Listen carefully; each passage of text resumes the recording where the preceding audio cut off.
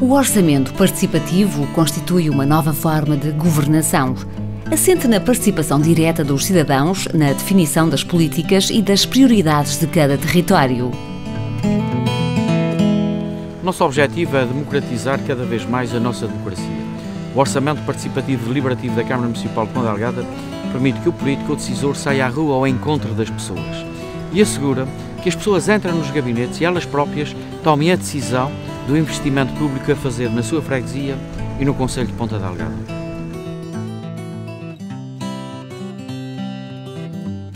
Para participar, há que estar atento às diferentes fases do ciclo de definição orçamental, que é o primeiro dos dois ciclos que completam o processo de orçamento participativo. Na primeira fase de divulgação, todos os cidadãos terão acesso à informação necessária sobre como e onde participar, através de uma campanha de divulgação em diferentes meios de comunicação, como televisão, rádio e internet.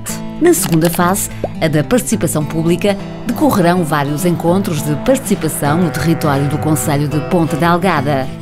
Nestes encontros, os cidadãos poderão apresentar e selecionar as suas propostas que resultam da identificação dos problemas e das necessidades que os próprios enfrentam no seu dia a dia.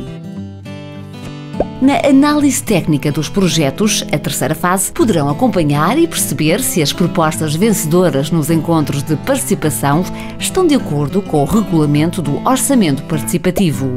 Os projetos aprovados seguirão para uma quarta fase, de votação pública, onde serão os próprios cidadãos a votar e a escolher os projetos a concretizar.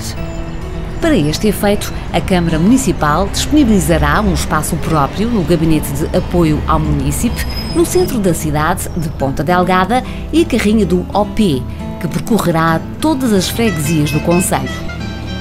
A quinta e última fase do ciclo de definição orçamental corresponde à aprovação do Orçamento Municipal, onde será incluída a verba necessária para a concretização dos projetos eleitos. O orçamento participativo só termina quando se inaugurarem publicamente os projetos que, entretanto, forem concretizados. Mas até lá, ou seja, já em 2015, serão desenvolvidas as fases do ciclo de execução orçamental que permitirão a concretização dos projetos escolhidos e a sua entrega à população. Orçamento participativo. Participe por um conselho que é seu.